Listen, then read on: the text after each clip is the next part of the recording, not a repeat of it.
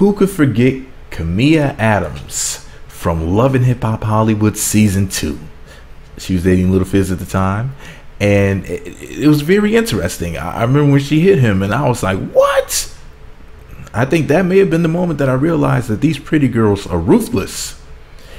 But anyways, she's with Bradley Beal, who plays for the Wizards. Yes, the Wizards. Well, it looks like she's El Pregnante. Let me go and read to y'all what she had to say about it on social media. Today was beyond beautiful. Thank you to all our family and friends who shared this special day with us. Can't wait to meet our baby boy, blue heart emoji, Bradley Emmanuel Beal II, aka Deuce. Hashtag baby shower, hashtag the parents. They already got a nickname and the baby's still in the womb.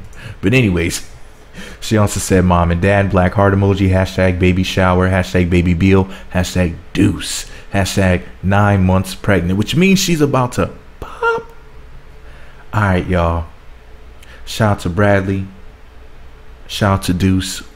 Welcome to the world this year. Early welcome from Mr. MEET Magazine. And a humongous shout out to Kamiah Adams, one of the finest women on the planet. Alright, y'all, that's all I got for y'all today, man. Let me know what y'all think about it all below.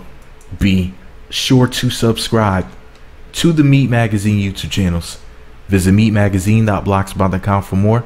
Follow me on Twitter at MEET Magazine, MEET Magazine 7 on Google Plus, MEET Magazine blog on Instagram. Be sure to hit the notification button. It's right next to the subscribe button. Looks like a bell. Once you click that button, you'll be sent alerts and you'll be notified when new videos get posted. Thumbs up, comment, subscribe, notify. Let me know what you think about the beautiful Kamiah Adams. See anybody running my social media claiming I'm a blogger? Please let me know it's not true. I'm an entertainer. I'm not as entertaining as Kamiah, however. I am an entertainer nevertheless, just on a much smaller scale.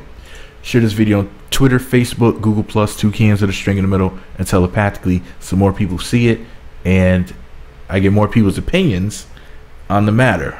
And you know, make sure you post something positive because y'all know I'm I'm quick with that block button. Right, Jesus.